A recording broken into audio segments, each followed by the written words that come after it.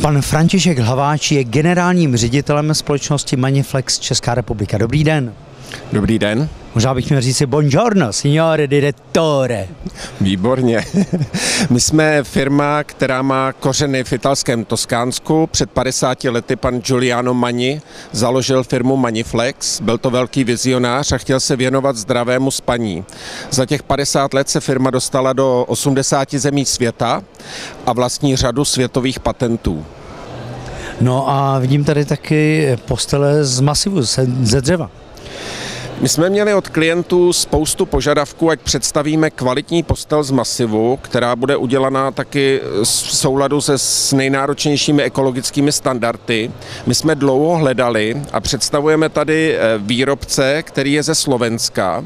90% výrobků exportuje do Německa, do Rakouska a používá specifické formy zpracování dřeva a také specifické formy olejování v souladu s nejvyššími ekologickými aspekty.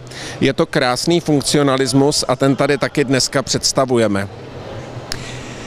Já myslím, že klidné spaní je důležité, ale že je také velmi důležité zdravé spaní a to najdete právě u italské značky Maniflex.